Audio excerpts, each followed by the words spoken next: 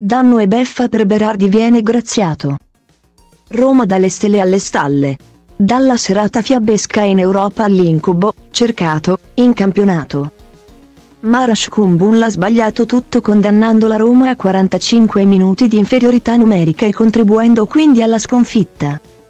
In tre giorni è passato dall'essere l'eroe della serata dell'Olimpico contro la Real Sociedad, alla peggior figura di se stesso, da giocatore, contro il Sassuolo. Dal gol segnato contro gli spagnoli a tre minuti dalla fine della partita. All'espulsione ricevuta al terzo minuto di recupero del primo tempo contro gli emiliani. Una fiducia riavuta e persa nel giro di tre giorni.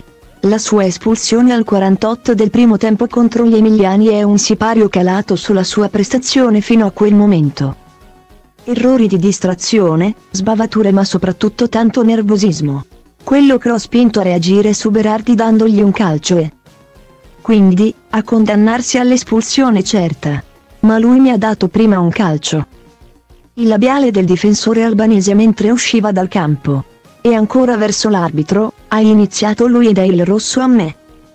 Il gesto di Berardi un fallo di reazione che ha comportato quindi l'uomo in meno nella Roma per tutto il secondo tempo e calcio di rigore realizzato proprio da Berardi. Graziato da Fabri sul campo e da Pairetto al VAR. Perché anche il numero, 10, del Sassuolo non avrebbe dovuto continuare la partita. Quindi calciare un rigore che l'arbitro non avrebbe dovuto assegnare. Partiamo da una certezza, Kumbun l'ha sbagliato e la sua espulsione è stata giusta ma l'albanese ha reagito a una provocazione di Berardi che da terra prima di ricevere il fallo. Ha colpito il difensore due volte con il collo dello scarpino nella zona inguinale. Fabri non ha visto nulla, neanche il calcio di Kumbulla, Pairetto ha invece sanzionato l'ex Verona e non interpretato come gesto falloso quello di Berardi.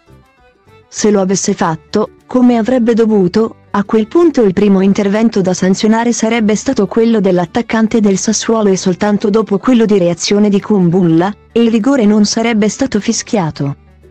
Proteste della Roma tra giocatori e panchina, l'episodio ha cambiato la partita e l'ha indirizzata naturalmente in favore del Sassuolo. Le scuse alla squadra resta il gesto totalmente sconsiderato di Kumbula che ha lasciato per 45 minuti i suoi con l'uomo in meno. Il difensore a fine partita si è scusato con la squadra per la sua reazione, ma rivendicando l'intervento scorretto di Berardi nei suoi confronti. Inutile dire che l'albanese sa di aver sbagliato, nulla potrebbe essere una scusante per la sua reazione.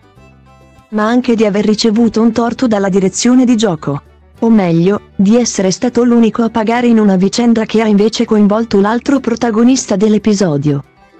Passo indietro di certo quella di Marash è stata una settimana incredibile, passato dall'essere il protagonista con la Real Sociedad al peggiore in campo col Sassuolo. La notte europea sarebbe dovuta essere per lui un risveglio dopo tante partite viste in panchina e poche giocate da titolare, appena 4 tra campionato e Coppa Italia. Anche nell'andata degli ottavi di Europa League gli era stato preferito Diego Lorente. Costretto a uscire all'intervallo per un problema al flessore allora il suo ingresso. La sua buona prestazione e quel gol del 2-0 a 3 minuti dalla fine che tutti pensavano lo avrebbe aiutato a dare una svolta alla sua stagione. Una serata al momento vanificata da un gesto sconsiderato e che adesso non lo aiuterà certo a riconquistare la totale fiducia di Mourinho. Un passo avanti e due indietro, Kumbulla deve crescere e migliorare dal punto di vista tecnico e mentale.